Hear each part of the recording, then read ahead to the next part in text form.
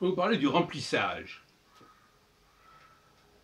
Le remplissage, ça renvoie à la problématique du contenant et du contenu. J'ai un contenant a besoin d'un contenu.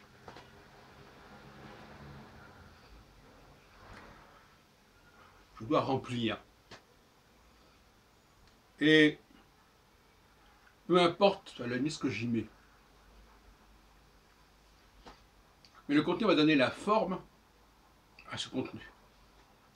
Autrement dit, je cherche un contenu sans forme, qui a besoin d'une forme, qui va être donnée, qui va être donnée par le contenant.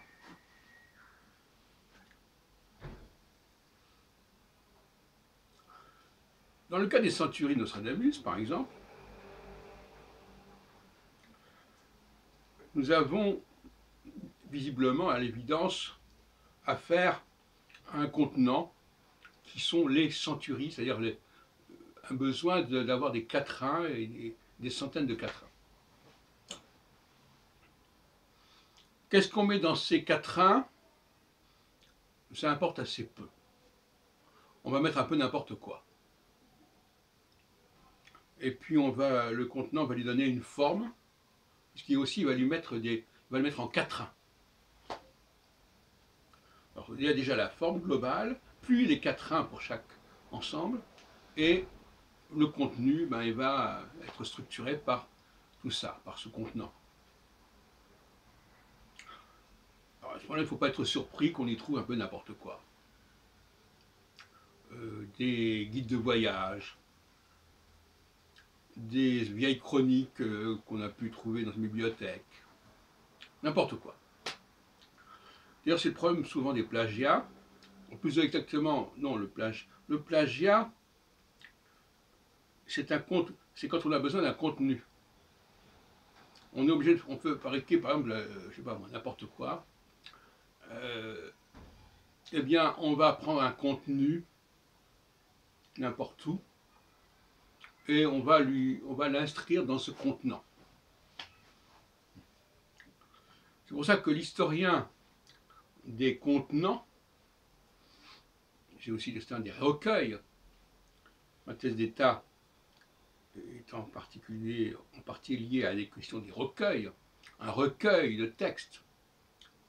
On a vidé des tas de choses et ça fait un contenant. Ça remplit le contenant.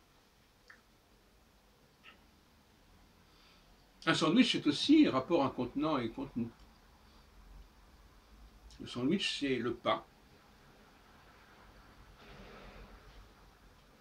Et puis, il faut mettre quelque chose dans le pain, pour remplir le pain. Alors, on peut mettre n'importe quoi. Un peu de ceci, un peu de cela. Le contenant permet d'unifier le contenu. va donner l'illusion au contenu de cette unité.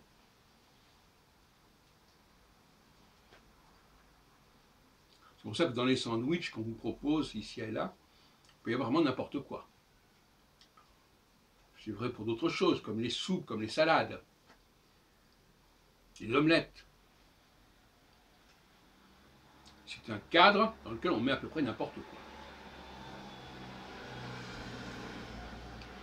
Une société, c'est aussi un contenant. qui va permettre, soi-disant, de donner une unité à un contenu hétéroclite, hétérogène.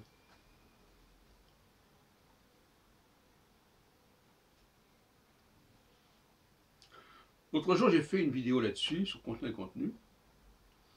Je disais que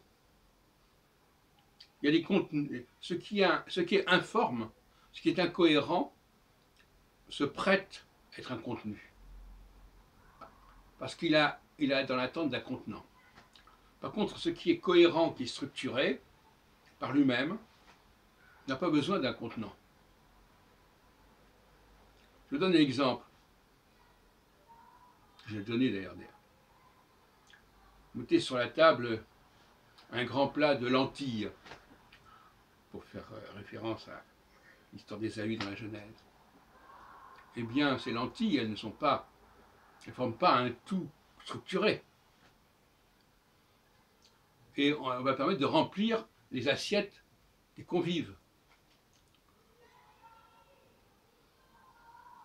Et ce sont ces assiettes qui vont donner une structure au contenu. En revanche, par exemple, vous avez un poulet, une dinde. Cette dinde, vous pouvez la couper. Il y a l'aile, la cuisse, le blanc, etc. Bon. Cette dinde, ces morceaux, c'est le paradoxe, c'est que cette dinde, on va la découper. Mais finalement, chaque morceau existe par lui-même. C'est pas comme des la dinde, c'est pas des lentilles. La dinde, c'est quelque chose qui existe, qui est une réalité en soi. Et de ce point de vue-là, je dirais que quelque part, les légumes se prêtent à être un contenu et la viande se prête à être un contenant.